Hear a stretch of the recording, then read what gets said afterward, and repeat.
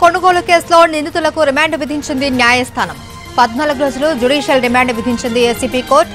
దీంతో ముగ్గురు నిందితుల్ని చెంచల్గూడ జైలుకు తరలించారు పోలీసులు.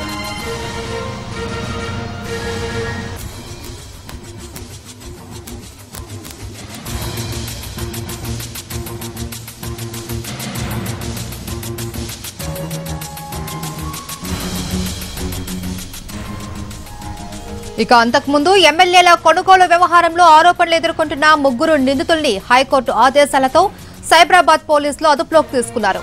రామచంద్ర భారతి నందకుమార్ సింహయాజీ స్వామీజీలను మొయినాబాద్ పోలీస్ స్టేషన్కు తరలించి మరోసారి వాంగ్మూలం సేకరించారు. అనంతరం ముగ్గురికి చేవల్ల ఏరియా ఆసుపత్రిలో వైద్య పరీక్షలు నిర్వహించారు. ఏసీబీ ప్రత్యేక కోర్టు న్యాయమూర్తి ఎదుట నిందితుల్ని ప్రవేశపెట్టారు.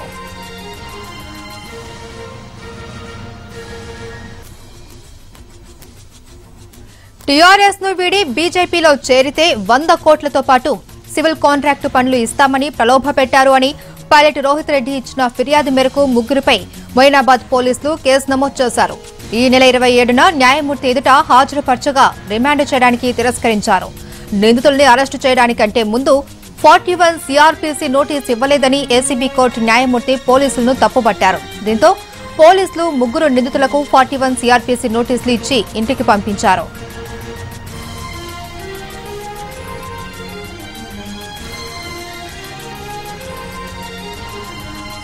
అయితే సైబరాబాద్ పోలీసులు దీనిపై హైకోర్టులో శుక్రవారం అత్యవసర పిటిషన్ దాఖలు చేశారు. ఏసీబీ ప్రత్యేక కోర్టు న్యాయమూర్తి రిమాండ్ను తిరస్కరించడాన్ని సవాల్ చేశారు. నిందితులు విచారణకు సహకరించకపోవడం చేసిన నేరాన్ని బట్టి ఏడేళ్ళ వరకు శిక్ష పడుతుందని దర్యాప్తు అధికారి భావించినప్పుడు నోటీసులు ఇవ్వాల్సిన పని లేదు అని పోలీసుల తరపున అడ్వకేట్ జనరల్ వాదించారు. ఈ వాదనతో ఏకీభవించిన హైకోర్టు బెంచ్ ముగ్గురు నిందితుల్ని వెంటనే సైబరాబాద్ సిపి ఎదుట లొంగిపోవాలి అని ఆదేశించింది. ఆ తర్వాత ఏసీబీ కోర్టులో హాజరుపరిచి న్యాయమూర్తి ఆదేశాల మేరకు రిమాండ్కు తరలించాలని ఆదేశించింది. ఇక పూర్తి వివరాలు మా ప్రతినిధి రమేష్ వైట్ల అందిస్తారు. రమేష్ వైట్ల.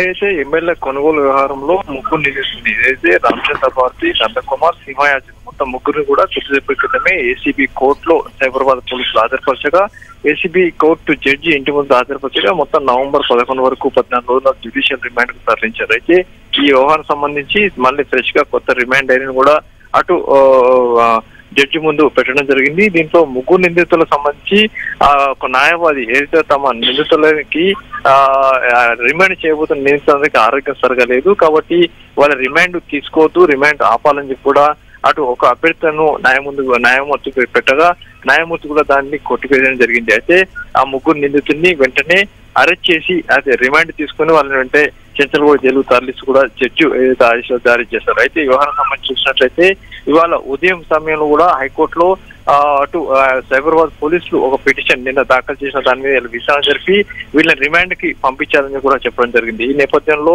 ఇవాళ కొద్దిసేపు మధ్యాహ్నం సమయంలో ముగ్గురిని నందకుమార్ ఇంటి నుంచి పోలీసులు తీసుకువెళ్ళి సైబరాబాద్ సిపి ముందు హాజరుపరిచి తర్వాత మొయినాబాద్ పోలీసులు తీసుకువెళ్ళి అక్కడ ఎక్కువ స్టేట్మెంట్ తీసుకుని ఆ తర్వాత మెడికల్ పరీక్షల అనంతరం ఏసీబీ కోర్టు జడ్జి ఇంటి దగ్గర ముగ్గురు హాజరుపరచగా పద్నాలుగు రోజుల పాటు జ్యుడిషియల్ రిమాండ్ తరలిస్తే వాళ్ళందరినీ కూడా చెంచరు ప్రస్తుతానికి అధికారులు తరలించారు right thank you Ramesh Vaitla